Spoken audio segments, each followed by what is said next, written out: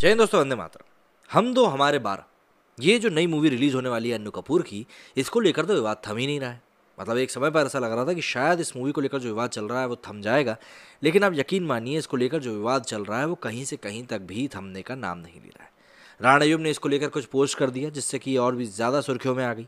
अनु कपूर ने भी इस मूवी को लेकर कुछ बात कही है कि जिनको लेकर कि लग रहा है कि नहीं मूवी में कुछ ना कुछ पॉजिटिव संदेश ज़रूर होगा। लेकिन जो एक पर्टिकुलर कम्युनिटी को टारगेट किए जाने की बात हो रही है उससे कई लोगों को परेशानी हो रही है और उसमें राणा अयूब बिल्कुल तरीके से सामने आई भी है। अब ऐसे में क्या कुछ कहानी चल रही है इस मूवी के पीछे? उस बारे में ज़रा बात कर लेते हैं और कुछ एक ट्विटर रिएक्शन की तरफ़ भी देखेंगे कि आखिर पब्लिक इस समय क्या चाह रही है। जनसंख्या नियंत्रण कानून पर सुप्रीम कोर्ट ने भारत सरकार से जवाब मांगा है।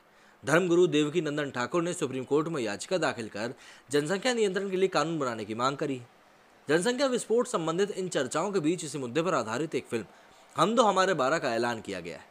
फ़िल्म के निर्देशक कमल चंद्रा ने इसका पहला पोस्टर जैसे ही सोशल मीडिया पर शेयर किया, कुछ लोग भड़क उठे। उनका कहना है कि फ़िल्म इस्लामोफोबिया से ग्रसित नज़र आ रही है। इसके ज़रिए जानबूझकर मुस्लिम समुदाय को निशाना बनाया जा रहा है। पोस्टर को देखकर ऐसा लगता है कि केवल मुस्लिम ही हिंदुस्तान में बढ़ती हुई आबादी के लिए जिम्मेदार है। फ़िल्म, हम दो हमारे बारह का पोस्टर पर एक लाइन लिखी है, जल्दी ही चीन को पीछे छोड़ देंगे। इसके साथ ही अभिनेता अन्य कपूर एक अपने किरदार में चौदह अन्य लोगों के साथ नज़र आ रहे हैं। पोस्टर में दिख रहे लोगों और फ़िल्म के सब्जेक्ट के आधार पर कहा जा सकता है कि सभी एक ही परिवार के सदस्य हैं। इसमें दस महिलाएँ हैं और पाँच पुरुष हैं। फ़िल्म को रवि गुप्ता, बीरेंद्र भगत और संजय नागपाल ने प्रोड्यूस किया है। कमल चंद्रा इसके निर्देशक हैं। कमल ने इससे पहले आखियाँ दा घर 2021 में आई थी, मार्कशीट 2019 और रांझना 2019 जैसी फ़िल्में बनाई इसके साथ ही कुछ म्यूज़िक वीडियोज़ को भी उन्होंने डायरेक्ट किया है। ऐसे में वो हम दो हमारे बारह के साथ कितना न्याय कर पाएँगे, ये हमें समय ही बताएगा।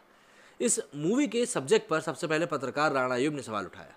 उन्होंने सेंसर बोर्ड और फ़िल्म के प्रोड्यूसर्स की मंशा पर सवाल उठाते हुए लिखा कि सेंसर बोर्ड इस तरह की फ़िल्म की अनुमति आखिर कैसे दे सकता है, जो मुसलमानों को जनसंख्या विस्फोट के कारण के रूप में दिखाती है और कम्युनिटी पर हमला करती है।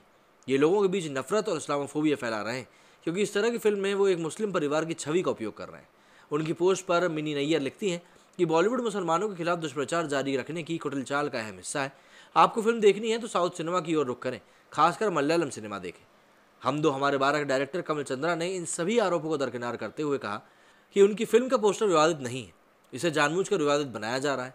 उनका कहना है कि सही नियत और नज़रिए से देखने पर लोगों की उनकी फ़िल्म का उद्देश्य समझ में आ जाएगा। चंद्रा ने ई टाइम से बातचीत में कहा कि हम आपको आश्वासन देना चाहते हैं कि हम इस फ़िल्म के ज़रिए किसी समुदाय विशेष को टारगेट नहीं कर रहे हैं। मुझे पूरा भरोसा है कि जब लोग मौजूदा वक्त के सबसे अहम मुद्दे पर बनी इस फ़िल्म को देखेंगे तो उन्हें बहुत खुशी होगी। ये फ़िल्म बढ़ती हुई जनसंख्या के मुद्दे पर है। हम इसे किसी की भावनाओं को ठेस पहुँचाए बिना बना रहे हैं। फ़िल्म में किसी की भी तरफदारी नहीं की गई।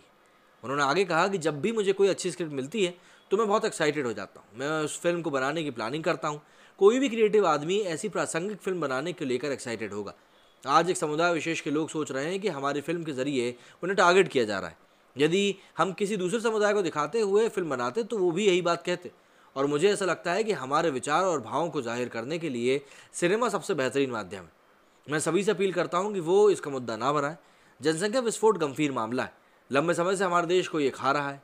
जब तक हम इसको गंभीरता से नहीं लेंगे, नहीं सोचेंगे, तब तक हमारा देश उस हिसाब से उन्नति कर नहीं पाएगा जिस तरह से हम चाहते हैं। मैं सभी से अपील करता हूँ कि पोस्टर और फ़िल्म को सही नज़रिए से देखें। इसके आगे वो कहते हैं कि मेरा भी मानना है कि किसी फ़िल्म का आकलन उसके पोस्टर के ज़रिए नहीं होना चाहिए। जब तक कि आप फ़िल्म नहीं देख लेते या फिर उसका ट्रेलर लॉन्च नहीं हो जाता, तब तक कोई भी प्रतिक्रिया त्वरित और अप्रासंगिक मानी जाएगी। सोशल मीडिया पर इन दिनों खुद को विक्टिम दिखाने का एक नया चलन चल पड़ा है। हर दूसरे व्यक्ति किसी न किसी चीज़ से आहत ही नज़र आता है। खासकर फ़िल्मों के मामले में लोग ज़्यादा ही कट्टर नज़र आ रहे हैं।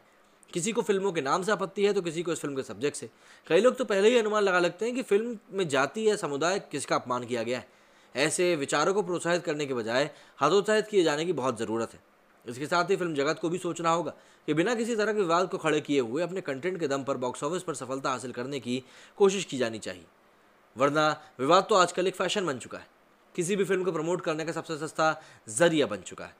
इस फ़िल्म के पोस्टर लॉन्चिंग इवेंट पर शामिल हुआ अनु कपूर का एक बयान भी सुर्खियों में है। लोग उनके इस बयान को लेकर उनको ट्रोल भी कर रहे हैं। दरअसल उन्होंने फ़िल्म लाल सिंह चड्डा को लेकर प्रतिक्रिया मांगी गई तो उन्होंने कहा कि क्या? वो क्या? मुझे नहीं पता। इसके बाद जब किसी ने उनसे कहा कि दूसरी फ़िल्मों पर कोई कमेंट नहीं, इस पर अन्नू तपाक से बोले, नहीं, कमेंट वाली बात नहीं है। मैं फ़िल्में ही नहीं देखता हूँ। ना आपकी, ना पराई। बात खत्म। मुझे तो पता भी नहीं है कि कौन है ये। मुझे सचमुच नहीं पता है ये कौन है ये तो मैं क्या बता पाऊँगा, मुझे इसका कोई आइडिया नहीं। वहीं अगर हम लोग ट्विटर की तरफ़ चलें तो ट्विटर पर भी कई ऐसी प्रतिक्रिया हैं जो कि अभी भी इस मूवी को लेकर सामने आ रही हैं। और जो कई सारी मतलब सीधे तौर पर अगर हम कहें तो कंट्रोवर्सी क्रिएट करने के लिए मुझको काफ़ी भी लगती हैं। मतलब राणा आयुब ने तो इसको लेकर कई सारी बातें पहले ही कह दी थी, लेकिन उसके बाद भी ये बातें होना अभी तक खत्म नहीं हुई और बातें बदस्तूर चालू हैं। अगर हम लोग ट्विटर की तरफ़ रुख करें तो भावना अरोड़ा ने राणा के एक ट्वीट को लेकर लिखा है कि इंडिया ऑल्सो नीड्स हम दो हमारे बार like film at intervals timely reminders इस क्योंकि राणा योग ने पीके को लेकर लिखा था कि PK is two years late to oh my god but India need such film at intervals specially the bigoted minds who need timely reminders मतलब इन्हें तो पूरी की पूरी लोगों को ही बिगॉटेड कह दिया इसके आगे न्यू इंडिया लिखते हैं कि she is calling the whole community a bigot and at the same time lived her whole life peddling lies, writing a book based on lies, uh, unreleased videos, and a lot more. Again, hasn't uttered a single word on Sartan se Juda beheading. Who's that bigot here?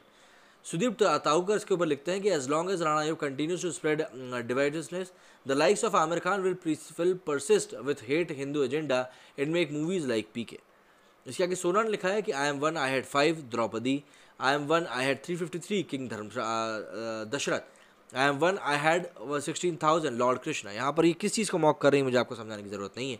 इसके ऊपर wonderful wire लिखते हैं lol first of all they are kings secondly they existed thousands of years back and polygamy was the Nom in the society thirdly in today's artificial intelligence world only one community wants to live according to the principles of stone age is society of Arabia Sami likhte hain, now we are in endgame. There is no interval, respect each other feelings and uh, rituals, not particularly one and abuse other इसके आगे आ, सलीम शेख लिखते हैं कि how many siblings Narendra Modi and Ajay Singh Bisht Ravi Kishan Dattatreya Hosabale and film actor Anu Kapoor who married three times अच्छी बात बताई है भैया ने भी। एटमैन ने कहा है कि not at all crap movies shown repeatedly became a pride factor for some it is still for some and they still will take it and enjoy the movie in fact movie may turn out that it will be so that it will be fun to have more मतलब देखिए मतलब अलग अलग तरह की प्रतिक्रियाएँ आप सामने आ रही हैं और पब्लिक सीधे तौर पर ऐसी मूवीज़ को सपोर्ट करना चाह भी रही है। लेकिन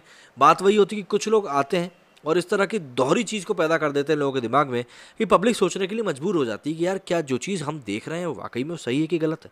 और यही भी जो सवाल पैदा होता है, वो आगे चलकर हर एक चीज़ में इतना कन्फ्यूज़न पैदा कर देता है कि समझने में ही मुश्किल पैदा हो जाती है कि कौन सी चीज़ सही है और कौन सी चीज़ गलत है।